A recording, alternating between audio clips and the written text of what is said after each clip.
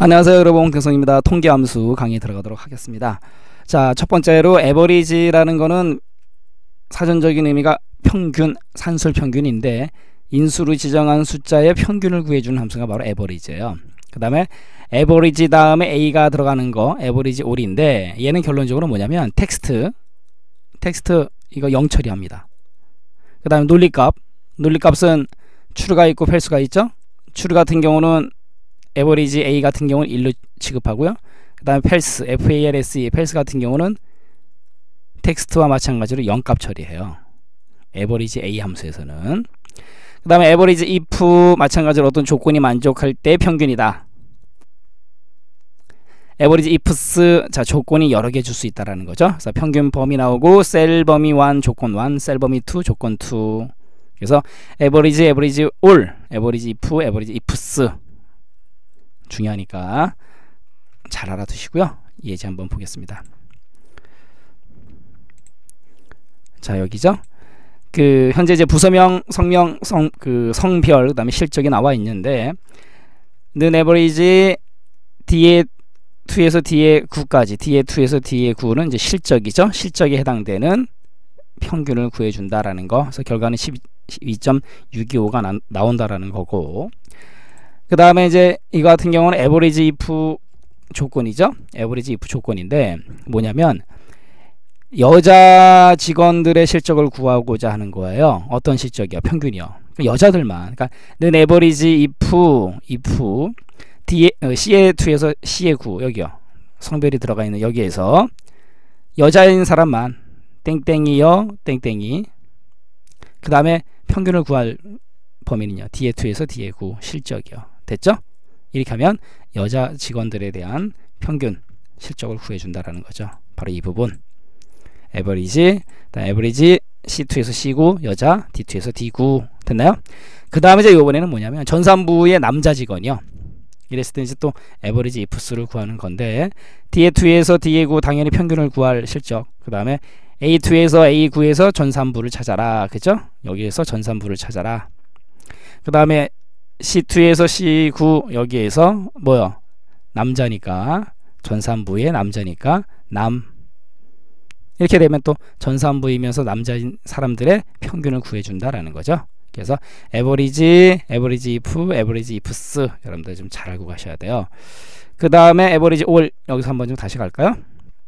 자 이거 같은 경우는 뭐냐면 average all 같은 경우는 텍스트는 0, false도 0, 그 다음에 true는 1로 취급을 해줘요. 이것만 좀 여러분들이 좀 알고 가시는데 지금 여기에 average 함수예요. BA1에서 C, 그 BA1에서 BA10까지 BA3까지 평균이 뭐냐 이렇게 물어봤을 때 결과가 1.333 나왔습니다.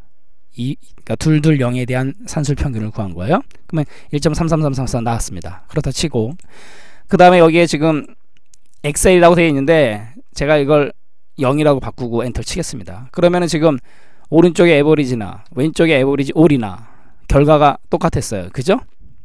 average A나 average나 숫자가 같으니까. 그런데 여기에다가 제가 한글로 엑셀이라고 입력을 하겠습니다. 자, 엑셀. 어떻게 됐어요? 1.333. 그러니까 엑셀이라는 텍스트를 0값 취급했다는 얘기잖아요. 그죠? 그 다음에 여기다가 false F-A-L-S-E false 넣겠습니다. 똑같죠? 그러니까 0값 취급했다는 거고 그럼 이번에는 TRUE true 치겠습니다. 그럼 어떻게 돼요? 추루를 1로 취급했기 때문에 1.6667이 나오지 않습니까? 그죠? 여기도 1로 한번 바꿔볼게요. 정말 1.6667이 맞나? 맞네요. 됐죠? 그래서 average A에서는 텍스트 0, false 0, true 1로 취급한다. 그것만 좀 여러분들이 알고 가시면 되겠죠. 자, 이번에 이제 large LARG large 함수 가겠습니다. large라는 건 크다. 그죠? 근데 몇 번째로 크다라는 거예요. 그래서 그 인수로 지정한 숫자 중 몇 번째로 k 번째로 큰 수, small 작은 몇 번째로 작은 수. 그래서 large하고 small 몇 번째로 큰 거, 몇 번째로 작은 거. 그다음에 MEDIAM 메디안 그러면 중간에 위치한 수를 구해주고요. 이건 이제 좀 머릿속에 좀 애우셔야 되겠죠. MOD 모드 최빈수요. 최고로 빈도가 높은 수 이런 뜻이에요. 그래서 메디안 중위수 이건 뭐 통계이기 때문에 좀 애우셔야 되겠죠. 모드 그러면은 최빈수 최고라 빈도가 높은 수 애우셔야 되고 max 배웠죠? 가장 큰 수를 구해주는 거. 255까지 인수 가능한 거. min 가장 작은 수 최소값. 그 다음 max A 그 min A도 마찬가지예요. 이거 같은 경우도 아까 average처럼 true를 1로 계산하고요. 그죠? 텍스트나 false는 0으로 계산합니다. 얘도 마찬가지. max A, min A. 자, 됐죠?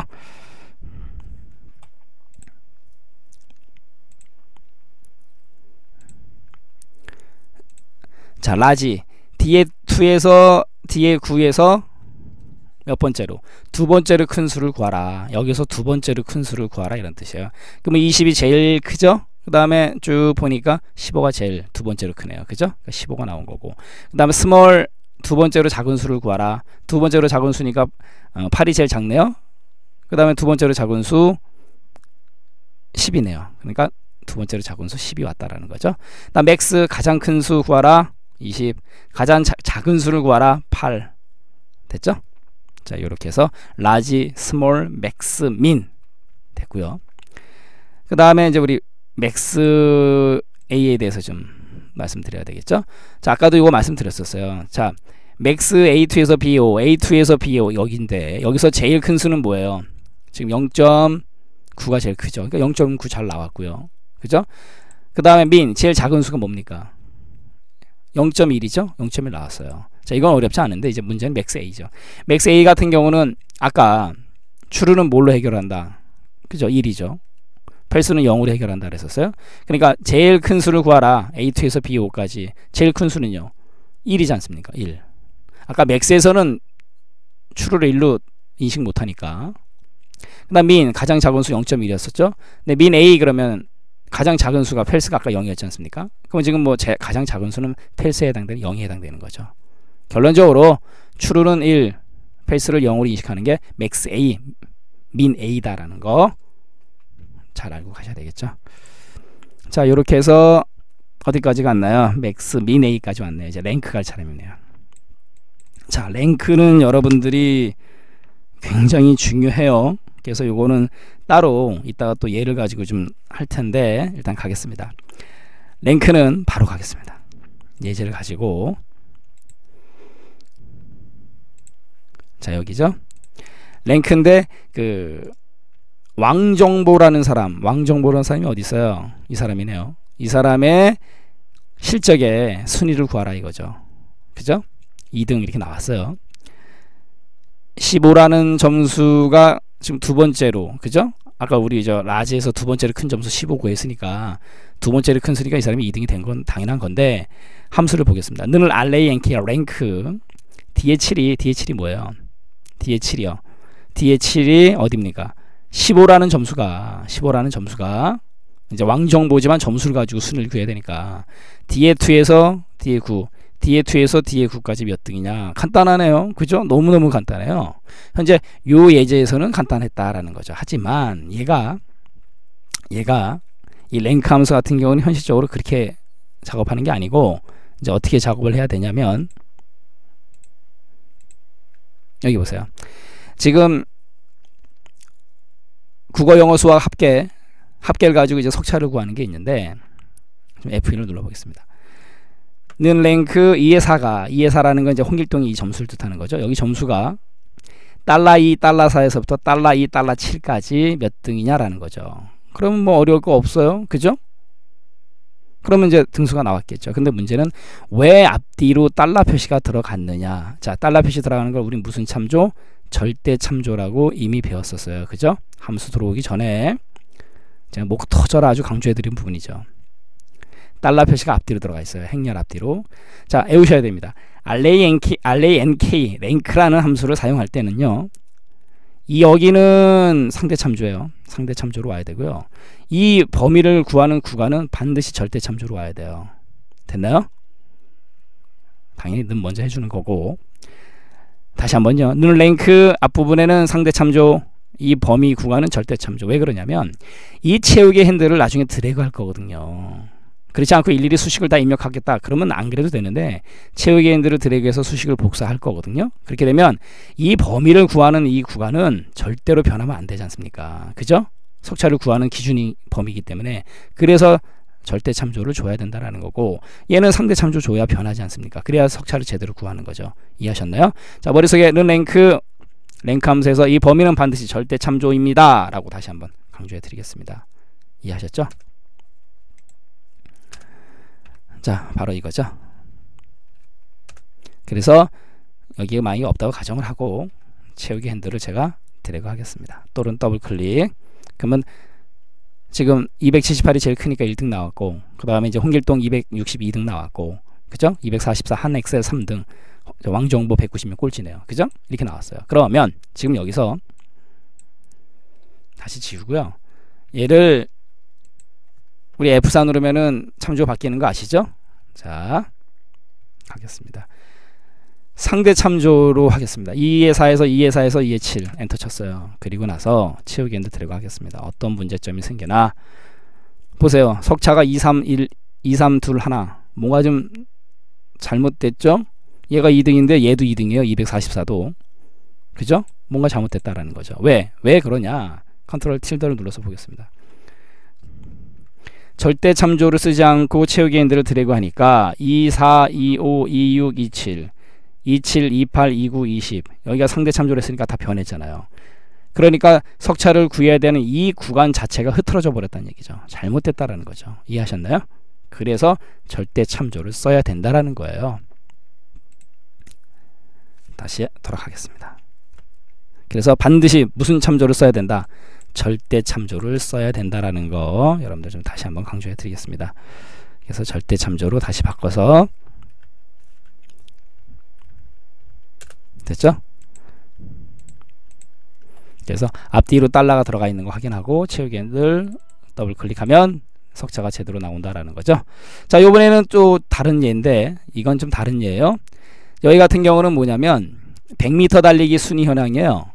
중요한 건 뭐냐면 지금 기록 같은 경우는 숫자가 높은 게 1등입니까? 낮은 게 1등입니까? 낮은 게 1등이죠.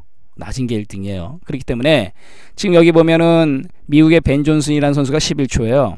그 다음에 우리 한국의 박태환 선수, 물론 수영 선수지만 우리 저 달리기 선수로 가겠습니다.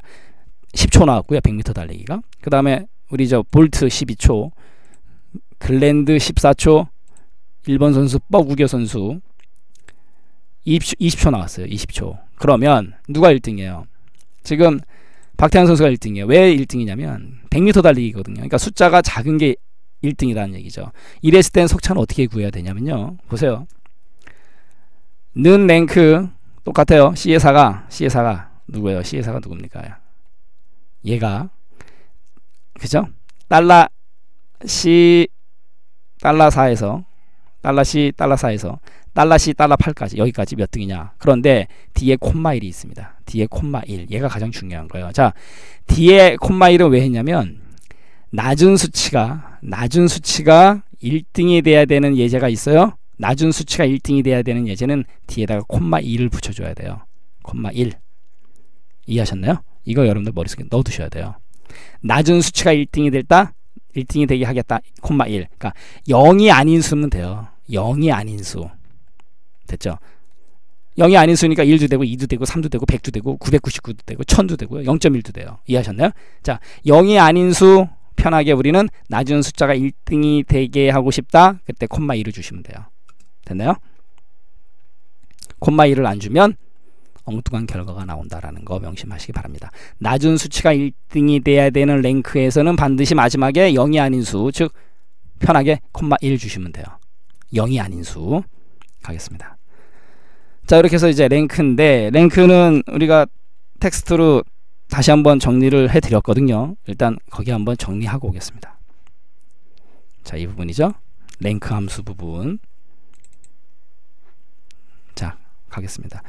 array nk 랭크 수치의 순위를 구해준다. 순위를 구할 수 참조 범위 그 다음에 순위 결정 방법이에요. 바로 이 부분이죠. 낮은 숫자가 1등이 되려면 어떻게 한다고요? 콤마 1 됐죠. 가겠습니다. 여기 이제 순위 결정 방법. 방금 전에 말씀드린 건데 순위 결정 방법이 0이거나 생략되면 우리 이제 아까 생략했었어요. 처음에 참조 범위가 내림차순으로 내려온다는 얘기는 숫자가 내려오는 거 내려오는 거잖아요. 그러면 100, 90, 이렇게 내려오는 거 아니겠습니까? 그죠? 내려오는 순서대로 순위를 구한다. 그러니까 높은 점수가 1등이 되는 거고. 예를 들면은 높은 수치가 1등이 되는 경우 성적, 높이 뛰기, 높이 올라가는 거, 그죠? 멀리 뛰기 이런 거는 높은 점수가 1등 아닙니까? 그런데 순위 결정 방법이 0이 아니면 참조 범위가 오름차 순으로 오름차 순위가 올라가는 거 아닙니까? 1, 2, 3, 4 이렇게 그렇게 순위를 구해줘요. 그러니까 낮은 수치가 1등이 되는 경우 아까 얘기한 100m 달리기 수영 같은 거 그죠? 교통 안전 순위 같은 거 이런 게 바로 그죠? 낮은 수치가 1등이 되는 거예요. 그럴 때는 0이 아닌 수 그냥 편의상 우리 1을 줬는데 자 이거 암기 쏙쏙 말씀드릴게요. 0이거나 생략하면 0이거나 생략하면 0이거나 생략하면 영생 0이거나 생각하면 네 영생네 이렇게 알으세요. 영생내 0이거나 생각하면 내린 차순 쭉 높은 점수가 1등이고요. 그 다음에 높은 점수가 1등인 경우가 많으므로 보통 생략을 한다라는 거죠. 이해하셨나요? 그 다음 5일 우리 오일 기름 아니겠습니까? 기름을 갖다가 바르면은 오르기가 1이다. 올라가는 게 1이잖아요. 미끄러지니까. 그래서 오름차순 같은 경우 오름차순은 0이 아닌 수, 쭉 1, 5, 1 그렇게 오시는 거예요. 그래서 낮은 점수가 1등이다. 됐나요? 그래서 낮은 점수가 1등이 되게 하고 싶다. 콤마 0이 아닌 수 1. 됐죠? 그렇게 주시면 돼요. 그래서 오름차수는 1. 그러니까 낮은 점수가 1등이 되게 할 때 0이 아닌 수 1을 준다. 5, 1. 그렇게 좀 머릿속에 넣어두시면 되겠죠. 이해하셨나요? 자, 예전에 아까 우리가 배운 예제랑 똑같은 거니까 바로 가겠습니다. 자, 그 다음 다시 위로 올라가서 이제 count하고 count A 함수 가겠습니다. count. count라는 거는 이제 숫자의 개수를 구하는 거고요. count A 얘는 이제 공백이 아닌 인수의 개수예요. 공백이 아닌. 이거 좀 조심하시고요. 그 다음에 count if 얘도 어떤 조건이 맞는 거를 카운트하는 거예요. 근데 count ifs 이것도 조건이 여러 개인 경우 셀 범위 조건 1, 셀 범위 그죠? 그 다음에 셀 범위 2, 조건 2 얘는 이제 count기 때문에 따로 어디를 카운트해라 그거는 이제 의미가 없는 거죠. 그래서 count count A, count if, count ifs 셀 범위 1, 조건 1, 셀 범위 2, 그 다음에 조건 2 가겠습니다. 그 다음에 이제 count blank도 설명하고 갈까요? count blank는 blank를 카운트하겠다는 뜻이에요. 그래서 공백 셀의 개수를 구하겠, 구하겠다라는 거. 자 여기죠. 자 카운트 는 카운트 뒤에 2에서 뒤에 9 뒤에 2에서 뒤에 9까지의 숫자의 개수 8명이죠. 8명 그 다음에 count A 여기 그 다음에 count A 공백이 아닌 그죠? 그렇기 때문에 공백이 아닌 거 전부 다, 다 카운트 해준다라는 거죠. 그 다음에 count blank blank라는 거 여기에 지금 blank가 없지 않습니까? 그죠? B의 2에서 B의 9 여기에 B의 2에서 B의 9 공백이 없기 때문에 아까 count count 같은 경우는 조심하셔야 될 게 D의 2에서 D의 9였었어요. D의 2에서 D의 9 숫자를 헤아렸죠. 근데 count A 같은 경우는 어디를 헤아렸어요? B의 2에서 B의 9 여기를 헤아렸어요. 그죠? 근데 만약에 여기는 숫자가 아닌데 어떻게 헤아렸느냐? count A 때문에 그런 거죠.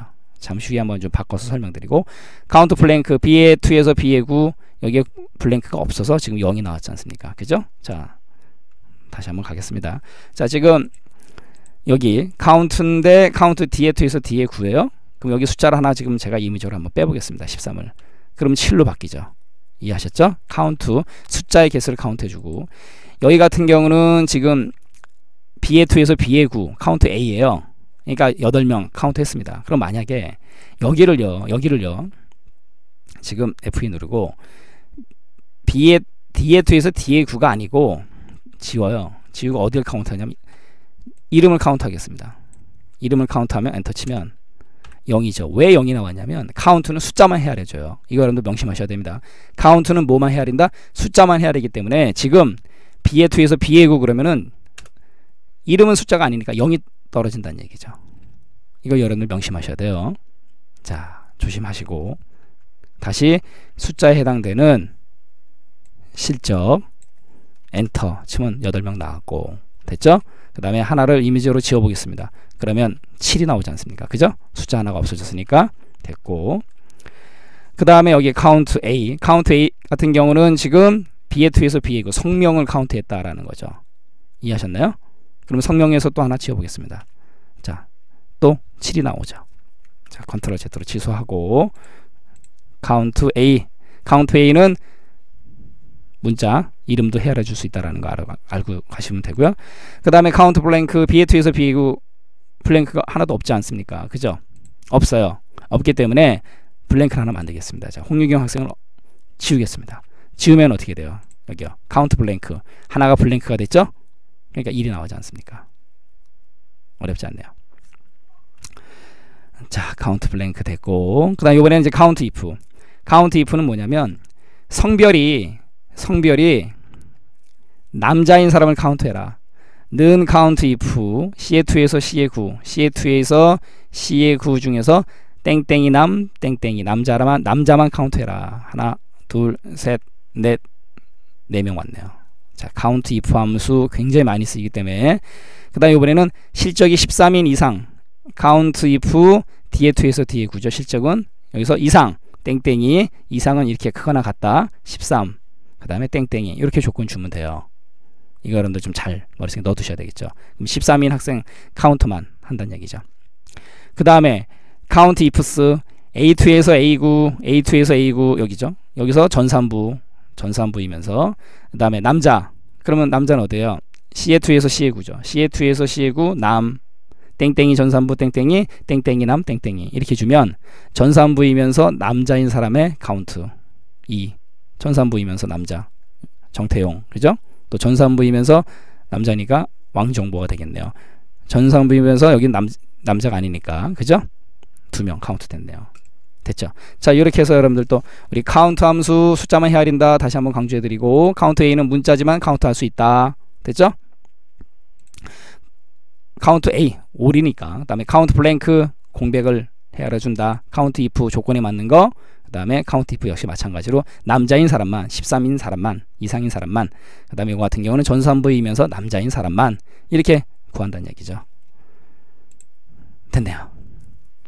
그 다음에 이제 또 알고 가셔야 될 게 뭐냐면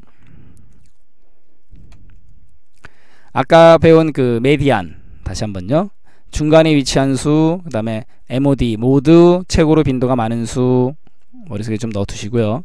그 다음에 STDV 표준 편차 자 통계의 표준 편차라는 게 있단 말이에요. 그걸 구해주는 함수가 STDV예요. 그러면 이 STDV 함수 같은 경우는 어떻게 시험 문제 나오는 거냐면 다음 중 표준 편차를 구하는 함수는 무엇인가 이렇게 낼 수밖에 없겠죠. 왜냐하면 표준 편차를 구하라. 이건 엑셀이 구하는 거지 우리가 구하는 게 아니거든요. 물론 표준 편차 수학적으로 구할 수는 있겠지만 우린 수학이 아니거든요. 엑셀이거든요. 그래서 STDV 표준 편차 그다음에 VAR 분산 분산을 구해주는 분산이라는 건 흩어, 흩어져 있는 정도를 뜻하는 거예요. 분산을 구해주는 함수 그 다음에 GO민 기하 평균을 구해주는 함수 하민 뭐예요? 조합 평균을 구해주는 함수. 자, 이런 것들은 이건 좀 머릿속에 넣어두셔야 되고 요 두 개는 1급에 해당되는 함수예요. 그렇기 때문에 2급 대비하시는 분들은 STDV 표준 편차, 그 다음에 VAR 분산만 좀 신경 쓰시면 되는 거고 1급 시험 보시는 분들은 아, GO미는 기하 평균, 하미는 조합 평균이다. 이렇게 또 알고 가시면 되겠죠. 됐나요? 자, 가겠습니다. 이번엔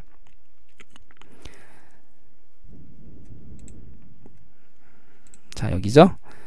지금 1, 2, 3이라는 숫자를 제가 입력해 놓고 중위수를 구했어요. 중위수 메디안 A1서부터 A3까지 중간에 위치한 수가 뭐예요? 2죠 2 바로 답 나오죠.